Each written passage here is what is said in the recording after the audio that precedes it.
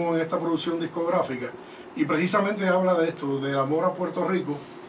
Eh, hubo una poetisa puertorriqueña, amiga de Martí, de los años de cuando los españoles eran los malos, este, que, que dijo que Cuba y Puerto Rico son de un pájaro las dos alas. Ah, qué bonito, ¿no? Sí, es bien lindo. Y sabes que hay otra, hay, hay otra parábola que podría servir y ser muy semejante.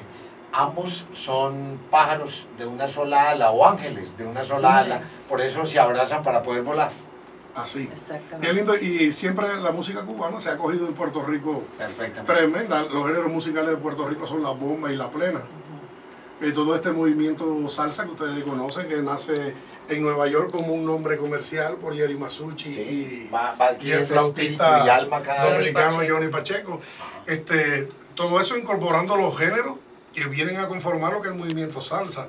Desde lo- la rumba con su ciclo, guaguancó, yambú, columbia, eh, el son, el la guarachazón, el son montuno, que todo esto con la Sonora Matancera, que era quien conocían en aquella época, y a Celia Cruz, se unen todos estos artistas y es lo que conforma el fenómeno Fania All Star.